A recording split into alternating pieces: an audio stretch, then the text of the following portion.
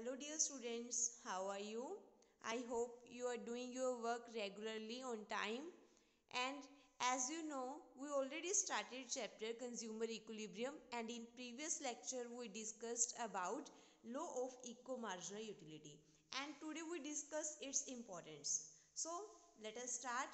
Its first importance is consumption that every consumer wants to get maximum satisfaction हर एक consumer का main motive क्या है? Maximum satisfaction हासिल करना, संतुष्टि हासिल करना कि जितने भी उसने अपने लिमिटेड मीन्स स्पेंड किए हैं। मीन्स मेरे साधन, जैसे कि उसकी इनकम तो जितनी भी वो इनकम अपनी खर्च कर रहा है, वो चाहता है कि उसको खर्च करने से उसको मैक्सिमम सेटिस्फेक्शन मैक्सिमम यूटिलिटी मिले। If consumer spend his income as suggested by this law on different commodities अगर एक पर्सन एक कंज्यूमर अपनी इनकम स्पेंड करता है डिफरेंट डिफरेंट कॉमोडिटीज़ के ऊपर।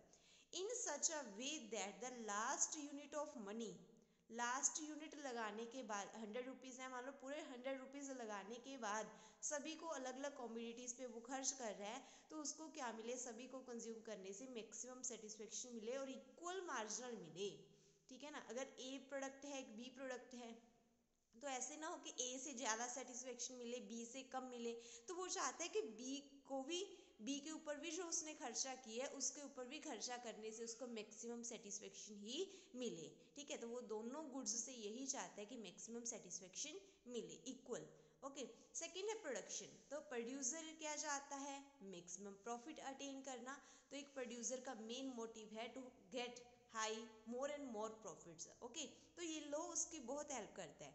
क्योंकि इस लॉ के अकॉर्डिंग एक प्रोड्यूसर अपना खर्चा, अपनी जो फैक्टर ऑफ़ प्रोडक्शन है, उसी को परचेज करता है, उसी भी अपना खर्चा लगाता है, जिसके ऊपर पैसा लगाने से उसको मैक्सिमम सेटिस्फेक्शन मिलेगी।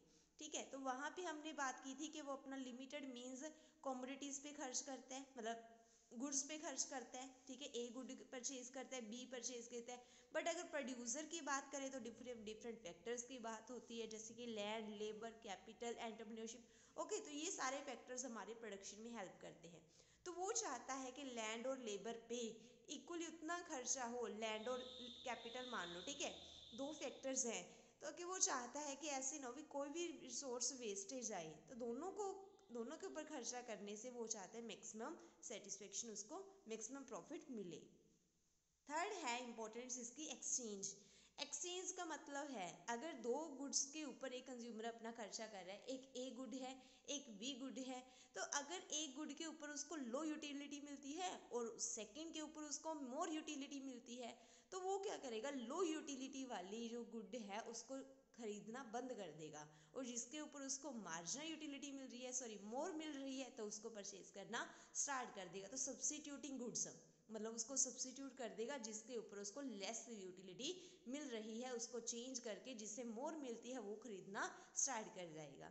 ठीक है, मान लो जिससे उसकी भूख शांत होती है, ठीक है हंगर है, भूख है, उसको भूख लगी है तो जिसके साथ उसको मैक्सिमम यूटिलिटी मिलती है, वो उसको परचेज करना स्टार्ट कर देगा लेस वाली लेस यूटिलिटी वाली गुड्स को खरीदना बंद कर देगा।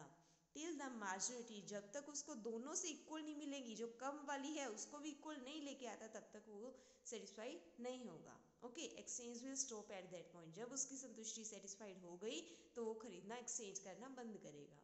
Okay next point is distribution it refers to distribution of national income आपको पता है, हम नेशनल इनकम को वाई से डिनोट करते हैं। किससे? वाई से।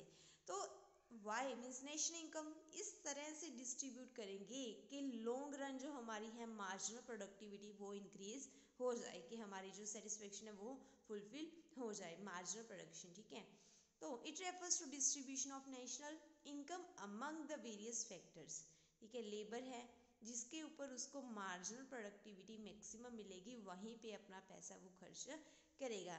To have such a distribution factors are to be manually substituted तो मैनुअली हम सारे को एक एक करके देखेंगे एवरेज प्रोडक्ट कैलकुलेट करेंगे, जहाँ पे पैसा लगाने से हमें ज़्यादा सेटिस्फेक्शन मिल रही है, वहीं पे हम पैसा अपना कंज्यूम करेंगे। तो डिस्ट्रीब्यूशन का मतलब डिस्ट्रीब्यूट करना डिफरेंट डिफरेंट फैक्टर्स में तो वहीं हम डिस्ट्रीब्यूट करेंगे जहाँ से हमें जिस लेबर के ऊपर पैसा लगाने से हमें ज़्यादा सेटिस्फेक्शन मिलेगी। ओके तो उसी फैक्टर्स में हम पैसा डिस्ट्रीब्यूट करेंगे अदरवाइज़ वो लगाना बंद कर देंगे।